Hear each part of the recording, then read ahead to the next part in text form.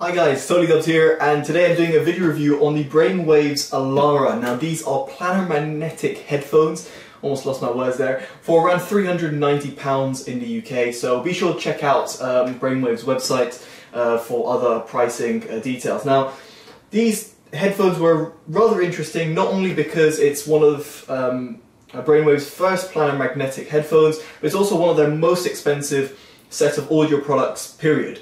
They usually produ uh, produce pretty cheap but very affordable and yet very well performing um, gear. So it's very much intriguing to see how this would compare. Now within the box um, you've got a nice little hard shell carrying case uh, and then you'll find um, extra uh, pads uh, which are included, a little strap which you can use it to take on the go, and a, a quarter inch jack. Uh, other than that, uh, in terms of the case itself, it looks pretty nice and it's got a little place over here so you can store the cable or the adapters or what have you.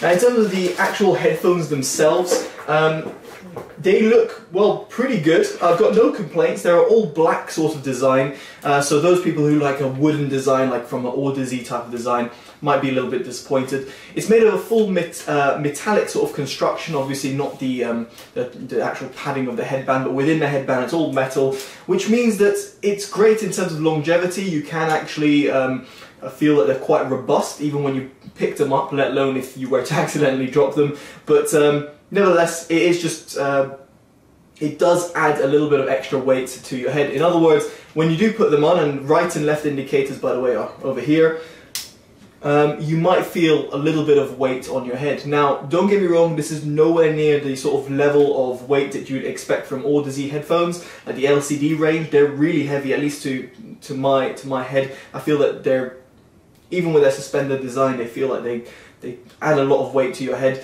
Um, and these are somewhat in between this and the HiFiMan Sundara, which to me are one of the most comfortable headphones I've ever worn, like ever. I, I haven't even come across um, headphones in terms of flagship headphones that really compete in terms of how comfortable these are.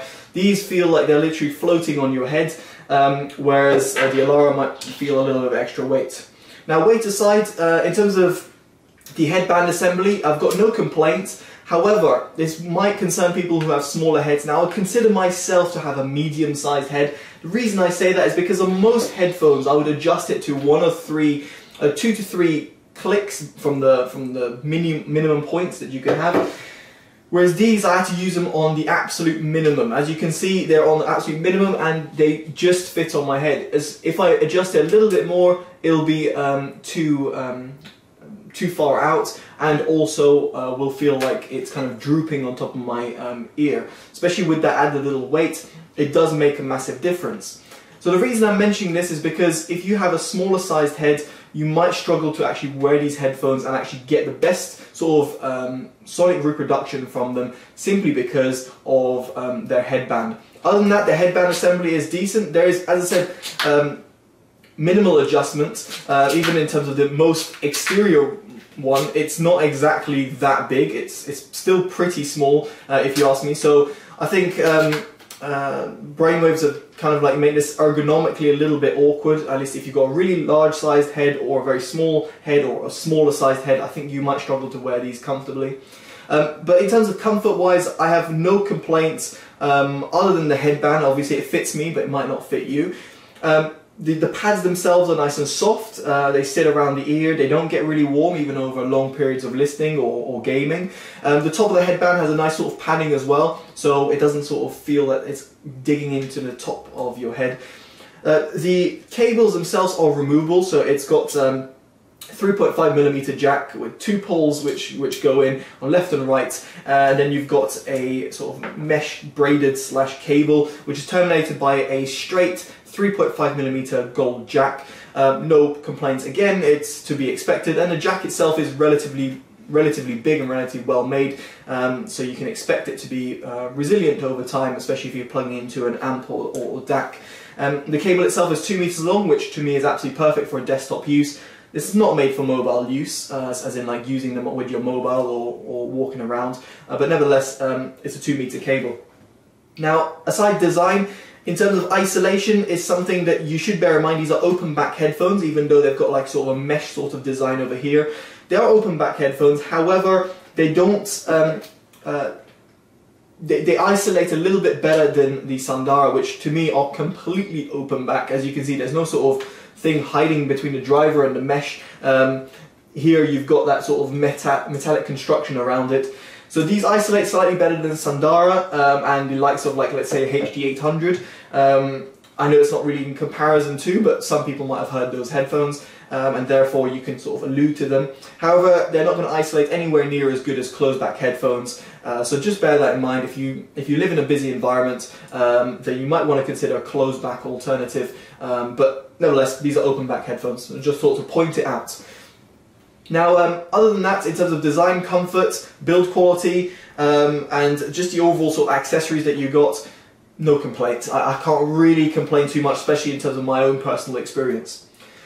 Now, moving on from that, let's talk about sound quality. And this is very intriguing because I was, I, I, I was not torn between the Sundara and, and the Alara, but um, and they kind of sound the same, but um, I was very much comparing them to the Sundara. Now, there are other headphones out there. There's a bunch I'll add in the description from um, dynamic drivers such as uh, Grado and Sennheiser to uh, planar magnetic from Audeze, Monoprice, um, and HiFiMan themselves. They all come in at under 400 pounds. You can find them, you know, pretty affordable headphones out there. Planar magnetic technology as well, uh, which differs from dynamic drivers. I suggest you guys look that up, and I'll, I'll, be sure to add a link in the description if you want to have some sort of further reading in terms of what those drivers actually mean or what's the benefits or disadvantages of them.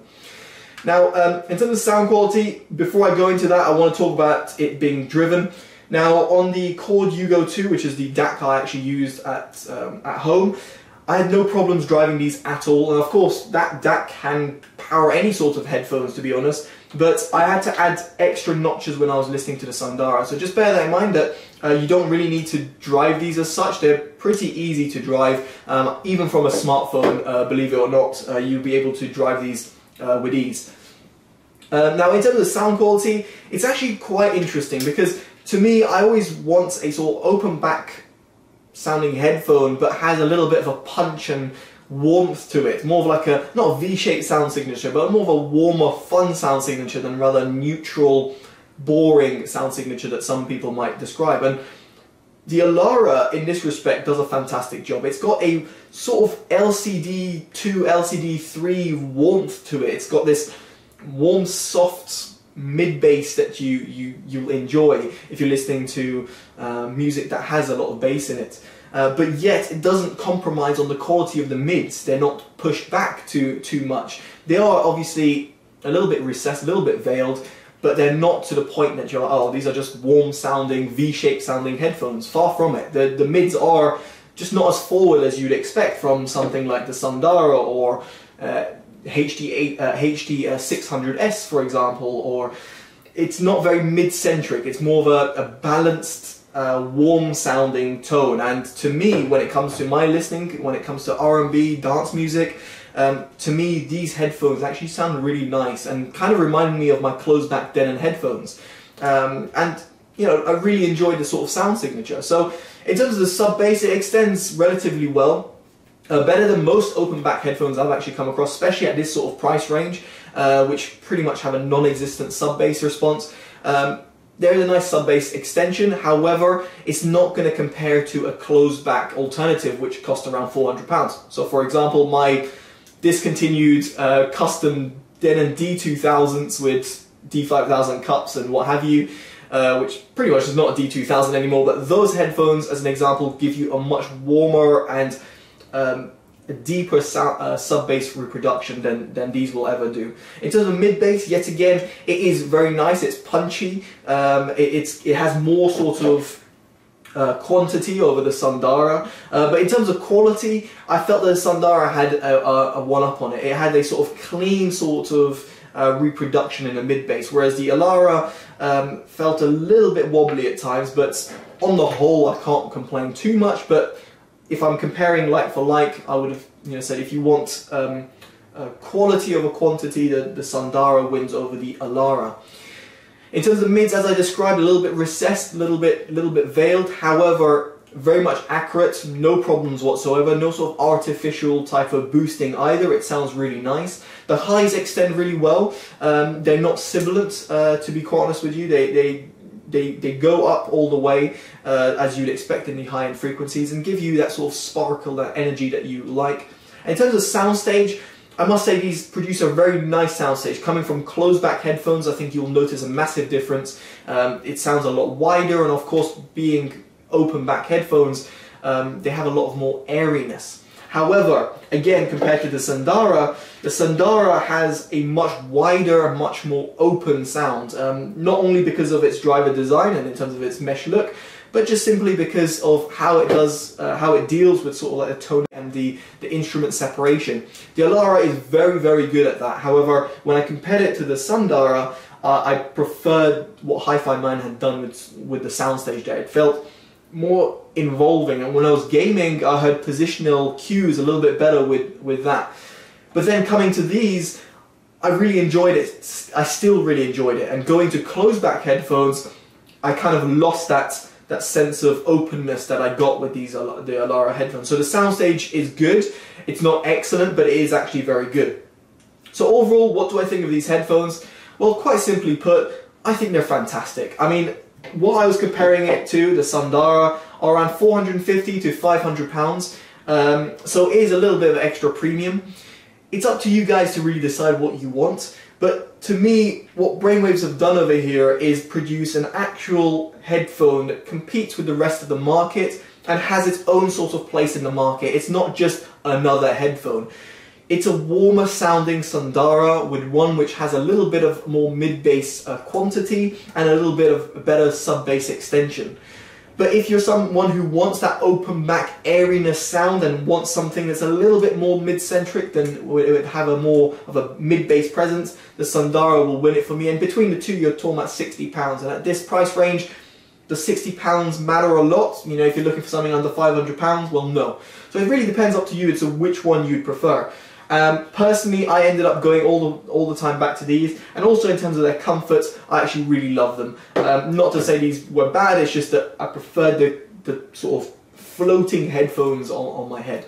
So overall, I can definitely recommend them. They've got a place in the market. If you've got any questions, make sure you ask me down in the comments below. I'll be sure to respond. Uh, check out the links in the description. You'll see the links to uh, the Brainwavz website and all the com competitors that I mentioned and uh, what kind of alluded to as well, uh, because model names can get quite uh, bogged down in a video. If you like this review, make sure you give it a like, comment, subscribe, uh, favorite and share, all that good stuff.